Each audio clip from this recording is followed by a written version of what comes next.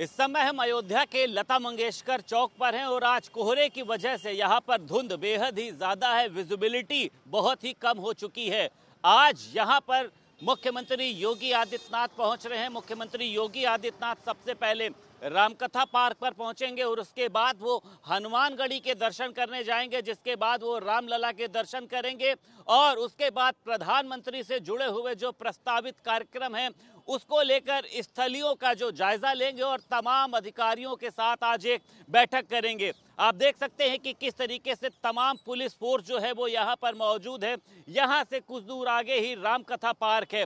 Police लगातार यहाँ पर लगी हुई है। चाहे पुलिस की बात करी जाए, चाहे पीएससी की बात करी जाए बैरिकेटिंग्स लगाई गई हैं, जिससे जब मुख्यमंत्री योगी आदित्यनाथ यहाँ पर आए तो कोई भी इस रास्ते से ना आ पाए। सामने की तस्वीरों में भी आप देख सकते हैं कि जो भारी संख्या में पुलिस बल लगाया गया है, पुलिस के जो तमाम बड़े आला अधिकारी हैं, वो भी यहाँ पर मौजूद हैं। आसपास के एरिया को धुला जा रहा है, चमकाया जा रहा है। आप देखिए, एक बड़ी जो पुलिस फोर्स है, पुलिस की गाड़ियाँ जो हैं, वो लगातार यहाँ पर पहुँच रही हैं। क्योंकि मुख्यमंत्री योगी आदित्यनाथ, प्रधानमंत्री नरेंद्र मोदी के दौरे को लेकर किस तरीके से अपडेट देने हैं, निर्देश देने हैं, उसको लेकर यहाँ पर पहुँच रहे हैं और पुलिस प्रशासन की भी पूरी कोशिश है कि सभी तैयारियों का जायजा लिया जाए। तमाम जो पुलिस अधिकारी हैं सुबह से ही यहाँ पर लगे हुए हैं और उसी के साथ साथ आप देखिए किस तरीके से आसपास के एरिया को कवर किया जा रहा है, क्योंकि सभी को पता है कि प्रधानमंत्री नरेंद्र मोदी का 30 दिसंबर को एक दौरा प्रस्तावित है, रोड शो करेंगे।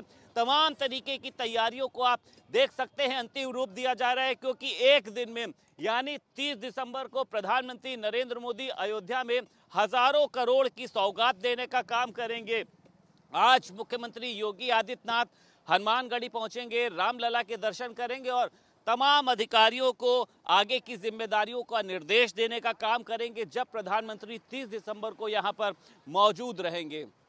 अयोध्या से वीडियो जर्नलिस्ट हरिओम के साथ संदीप खेर भारत समाचार।